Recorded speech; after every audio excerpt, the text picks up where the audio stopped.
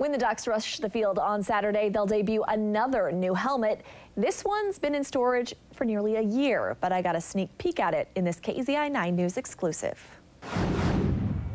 We've seen liquid metal, liquid lightning, liquid carbon, and liquid thunder.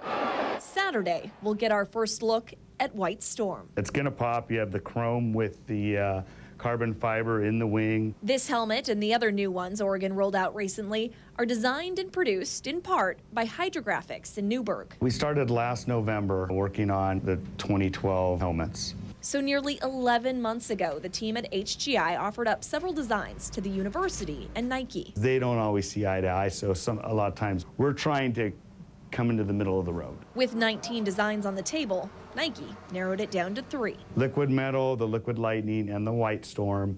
Those three helmets were immediately picked out as these three we want. They just didn't know which ones they, which one they were going to pick. Liquid metal got the nod, but the second place pick that was saved for Oregon's next big game, one that wouldn't happen for more than 10 months. Can't wait to see this thing. Uh, on the field against USC. You'll have been working on it for a year when it debuts. Mm -hmm. What's it like to see your baby go out on the field? It, it's, it's exciting because we have to keep this quiet. We can't talk about this.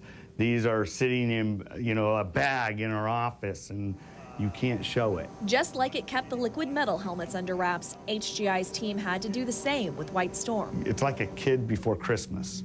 You know, you're just like waiting for them to unwrap the present because you want to you want to see it. Now it's time to let one secret out of the bag. This is a classy look to me. While work on the next one gets underway. There's a few that we're working on that are sure to be my favorite. So just how will the helmets look on the field and what will the Ducks wear with them? We'll have to wait until Saturday to find out.